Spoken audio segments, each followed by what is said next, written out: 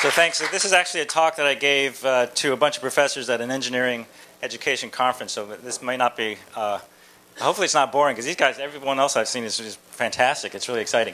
So um, I'm from mechanical engineering at the University of Pennsylvania. I'm going to talk about this new curriculum that we've started uh, just a couple years ago for the undergraduates. Um, but the first thing I want to do is, is um, I'd like everyone to I'd like everyone to point to the sky.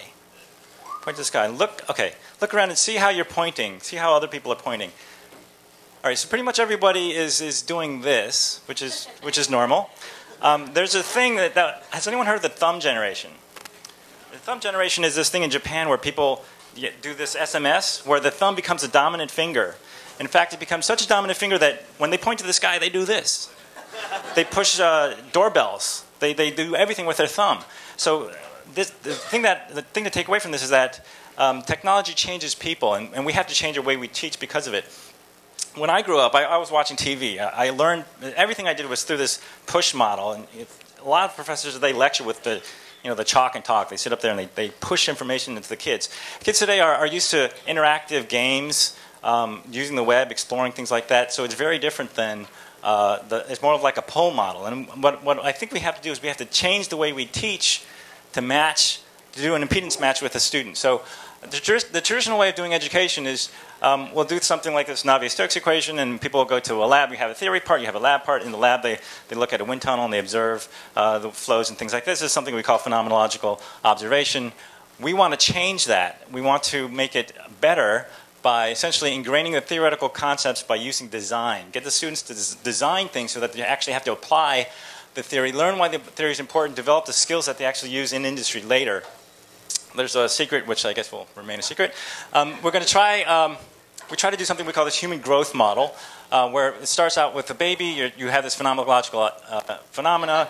As you get older, we start to do some of the directed learning, and later on, I'm not talking fast enough, um, we have the uh, kids start to become adolescents, and we start to try to get them to be a little bit more independent in what they do. So here's, here's the, uh, we, do, we have a curriculum which we span through three years as, uh, from freshman to um, uh, junior, and they, we eventually get more and more independent. So here's an example of a sophomore lab where they had, they had a goniometer, which they measured the, the angles of the, the legs, and then they have to simulate it, and then they build it.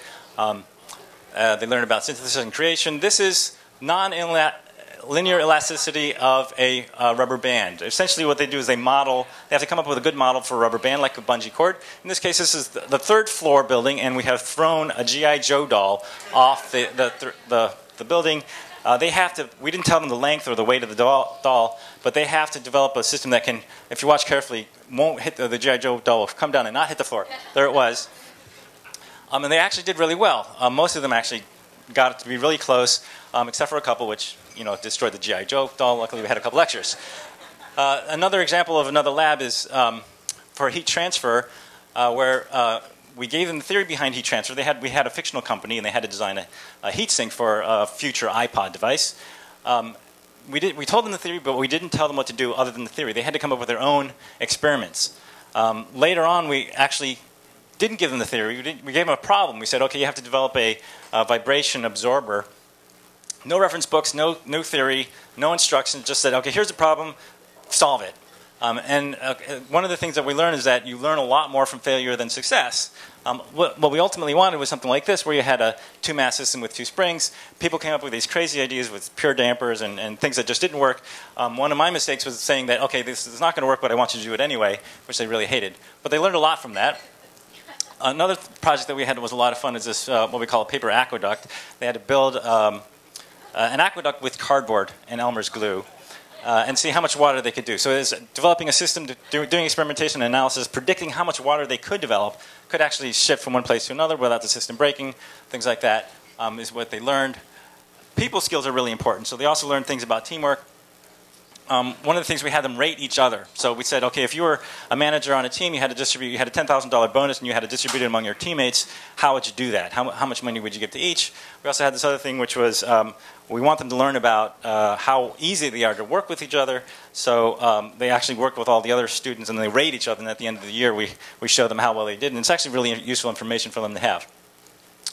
So um, lastly, when we surveyed the students, um, most of them actually claim that they learned more in the lab than in any other class they ever had, um, which I don't actually believe is true. I think mo- mo- most of it is that they think that they learned because that was where they the information was ingrained.